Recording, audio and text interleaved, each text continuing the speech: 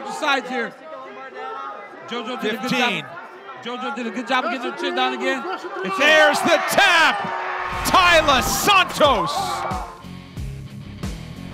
Taila Santos has quickly skyrocketed to the number two spot in the women's flyweight division, and we can't wait to see what she does next. Today, we're taking a look at the life and career of UFC rising star Taila Santos. If you like this video, be sure to subscribe and check back every week for more Ultimate MMA. Santos' father was a Muay Thai coach, so she started training at a very young age.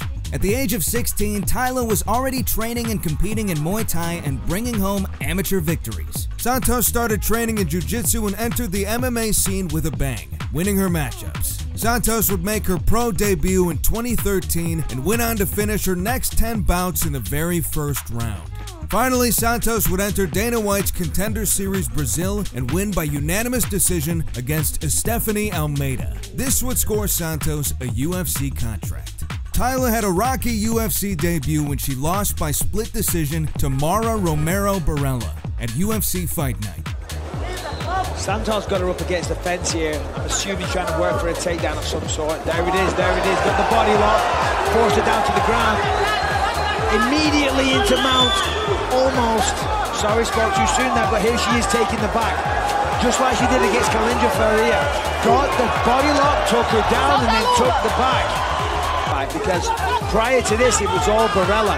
But that was a nice right hand there that Santos landed. And now she's advancing. She feels the tide turning.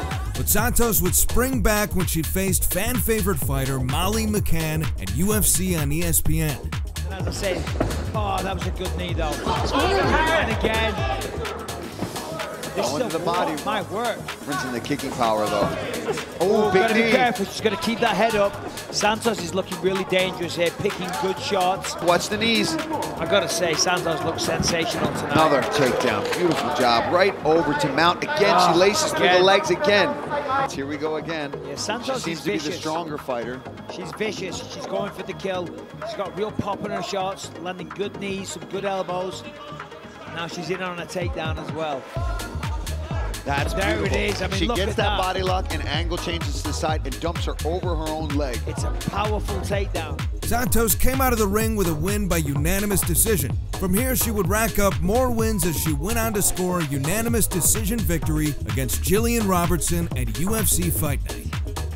Seems like a one-dimensional approach. Certainly when it's Taila that is dominating these positions. I mean, that was a great takedown. She's great if she gets it, but if she doesn't get it, she's flat on her back again in the same position, which has cost her the first two Oh rounds. my goodness! You see what I'm saying? Santos does such a good job of just staying patient and calm whenever she's in these submission attempts that it allows for her to end up in a better position than when she even started. But this, At UFC 266, Santos would take on longtime fighter Roxanne Modafferi and come out with another decision victory. I mean, not quite as good as yours, but Look at close. Looks like maybe a head clash as Santos moves inside. She explodes in the Rockies, take the double underhook, turns her back towards the right leg and trips her. Clinch here. She's going to work with these knees. She's gonna get turned. She's got to get her back away. Nice work there from Santos. That's what she's got to do, guys. She's got to pull her away. Oh. Ooh, little late, but no damage done. and keep pressing the pace until she until she gets back into this fight. Oh, oh thank you, Dean. Big right hand. Modafferi retreats. And that one cut her open. Did it split her open? I didn't see it, John. Where's it out on the far end? And she gets taken down. That's nice work from Santos. like Roxanne. And the game continues to evolve. And there's and now she Oh, down for Santos. Oh, Oh my goodness. Santos would earn her first Performance of the Night award when she faced Joanne Wood at UFC Fight Night. Follow up though, forward please. There you go. Oh, big right from Santos. Go, up, up, up. So powerful. Look at that. Oh, oh big right. Oh, Wood is down. Santos trying to hammer Look away.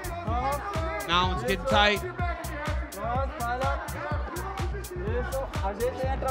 It's not under the chin. Santos will keep, now she's keeping switching sides here. JoJo did a good job. JoJo did a good job of getting her chin down again. It's There's the tap. Taila Santos.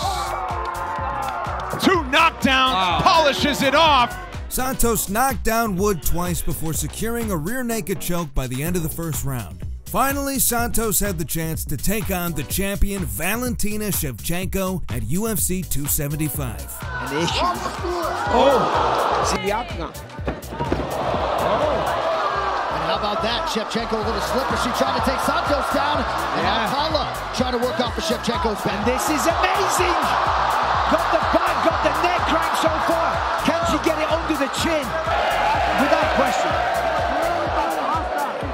Under two minutes here to go round. Down three. it is again. Big takedown for Santos. Now working off the back. Santos was trying to isolate an arm for a moment. Now trying to work under the chin of Shevchenko. Now this is a better position earlier.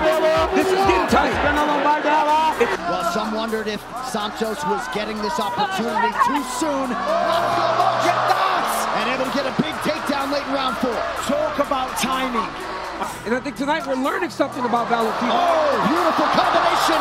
And that Look at goes with the shot from Santos. No way. I mean, this is this is crucial now. It was hard fought, but Santos ended up losing by split decision. This was the first time a fighter won on a judge's scorecard against Shevchenko in the flyweight division. Many think Taila was the real winner of that fight, but we'll let you decide for yourself. Next up, Santos is set to face jiu-jitsu practitioner Erin Blanchfield, where they both will headline UFC Fight Night. We can't wait to see which women's flyweight fighter ends up on top. Do you think Santos will beat Blanchfield? Let us know in the comments. If you like this video, be sure to subscribe and check back every week for more Ultimate MMA.